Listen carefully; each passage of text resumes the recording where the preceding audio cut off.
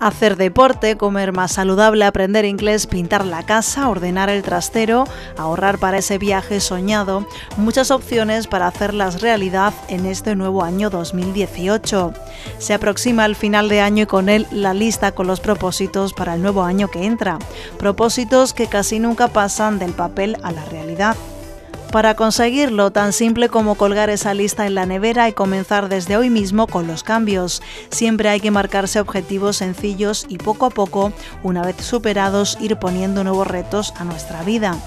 La confianza en uno mismo es esencial para hacer realidad esos sueños. Si nos imaginamos cumpliendo las metas, nos motivaremos más a hacerlas realidad. Por ello, de la importancia de que tus metas sean realistas, estén a tu alcance y dependan tan solo de ti. Si te pones metas muy difíciles y casi imposibles, nos desmotivaremos y será frustrante para nosotros llevarlas a cabo. Podemos ser más concretos en algunos propósitos para que se nos haga más fácil, como por ejemplo, en vez de poner tengo que comer sano, puedes poner comer de dos a tres porciones de frutas y verduras al día.